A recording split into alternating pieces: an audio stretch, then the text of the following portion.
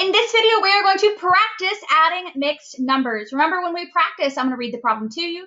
You're going to solve it, come back and watch me solve it. Again, we are going to be simplifying our answers. I know we haven't been doing that, but it is really important to do. So we're going to start that today.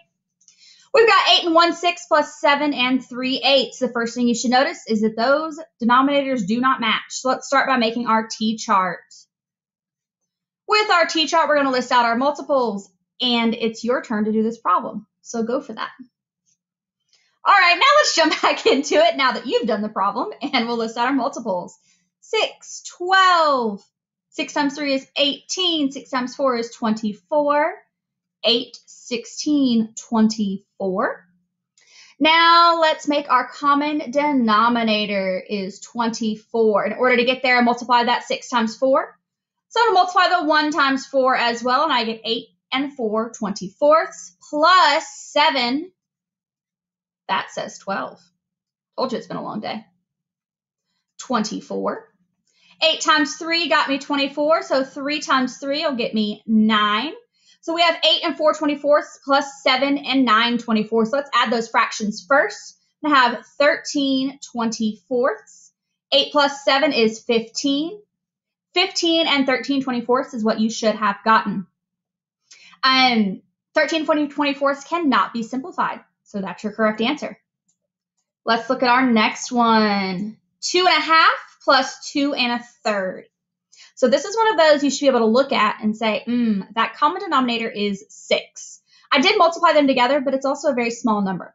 And you remember you want to try to keep your common denominator with your least common multiple to make it easier on you. Because sometimes those numbers could get really big and then it's going to be really difficult to solve. Let's go ahead and add this up. Make our common denominator in equivalent fractions first. To get to 6, I multiplied 2 times 3, so multiply my 1 times 3 as well. I have 3 6 plus 2. So I need to multiply my 3 times 2. So I multiply my 1 times 2. So I have 2 and 3, 6 plus 2 and 2, 6. Let's add those fractions. I'm going to get 5, 6. Remember, you add the numerators, not the denominators. And if we add our whole number, we're going to get 4 and 5 sixths. 4 and 5 sixths cannot be simplified, so that is your answer. Let's go to our next one. 1 and 5 twelfths plus 4 and 1 sixths. Go ahead and work it out. All right, for this one, in your brain, you should go ahead and know that 12 is going to be your common denominator because 6 times 2 is 12. So let's go ahead and bring down that first fraction and make an equivalent fraction with our second one. I multiplied 6 times 2 to get me 12, so multiply 1 times 2 as well. We're going to have 4 and 2 twelfths. So 1 and 5 twelfths plus 4 and 2 twelfths. That's going to get me 7 twelfths, and 1 plus 4 is 5. Your answer should have been 5 and 7 twelfths, and we cannot simplify it. Let's practice with another. 8 and a half plus 6 and 3 fifths. Go ahead and work it out.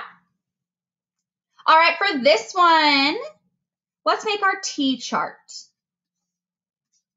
Two, four, six, eight, 10, 5, 10. 10 is going to be our least common multiple. So we have 8 with 10 as our denominator. Multiply the 2 times 5 to get me to 10. So we'll multiply that 1 times 5 as well because whatever you multiply the denominator by, you have to multiply the numerator by. 8 and 5 tenths plus 6 and something over 10. 5 times 2 got me 10, so 3 times 2 will get me 6. Let's add those up. 5 plus 6 is 11. Keep your denominator the same. 8 plus 6, 9, 10, 11, 12, 13, 14. 14 and 11 tenths. Now, when you're looking at it, you should see that this is an improper fraction. Cannot leave it that way. So I'm going to subtract 10 tenths. Remember, I'm subtracting 10 tenths because the denominator is 10. If I subtract 10 tenths, I'm going to end up with 1 tenth. That 10 tenths was going to equal 1. Pull it over here, put it with the 14. I get 15. 15 and 1 tenth is not able to be simplified, so that's your correct answer. Remember, if you got one wrong, go ahead and review the video, check your work with my work, see where you went wrong there, and make sure that you understand why the answer is correct. We've got 2 and 1 sixth plus 4 and 5 ninths. Go ahead and work it out. So for this one, I am going to make our T-chart. Mostly because I want you to have lots of practice making those. 6, 12, 18, 9, 18. 18 is going to be our least common multiple, so our common denominator. I made that 18 really big, sorry. 2 and something over 18. I multiply my 6 times 3 to get me to 18, so to multiply my 1 times 3 as well. 3 eighteenths plus 4 and something over 18. I multiply by 9 times 2 to get me to 18, so I multiply by 5 times 2 as well. 4 and 10 eighteenths. Let's go ahead and add up those fractions. 3 plus 10 is 13 over 18. We leave our denominator the same. 2 plus 4 is 6. You cannot simplify that. Your answer is 6 and 3 eighteenths. Let's look at another one. This is going to be our last one before our word problem. 3 and 5 eighths plus 5 twelfths. Go ahead and work it out. For this one, I'm going to go ahead and draw my T chart. We've got 12, 24, 8, 16, 24. 24 is going to be our least common multiple.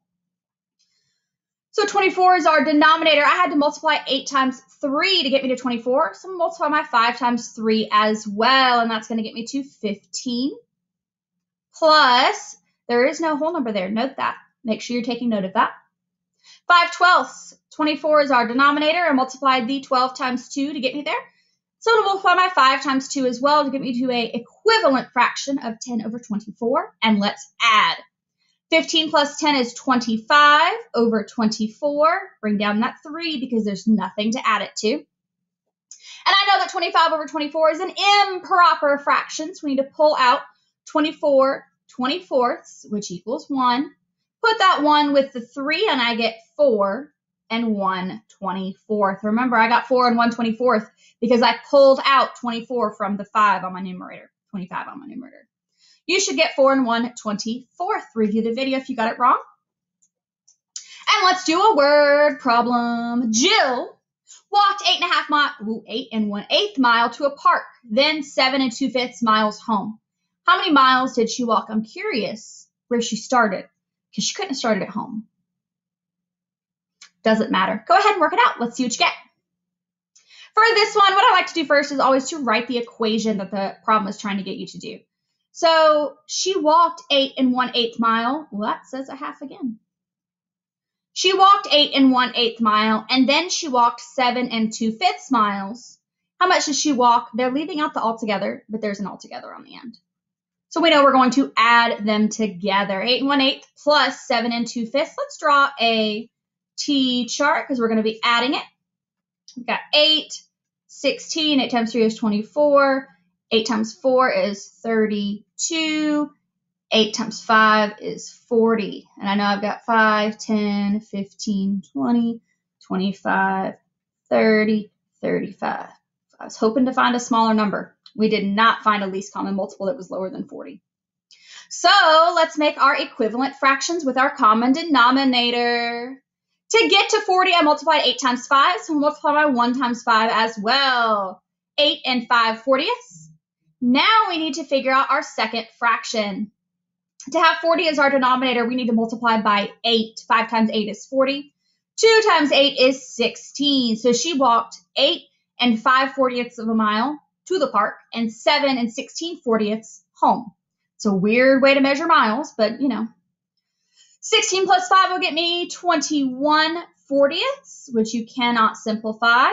And 8 plus 7 is 15. So she walked a total of 15 and 21 fortieths of a mile. She walked a lot. Her legs must be tired. I hope that's the answer you got. Again, if you didn't, make sure you go back and re-watch that portion of the video to see why you got it wrong.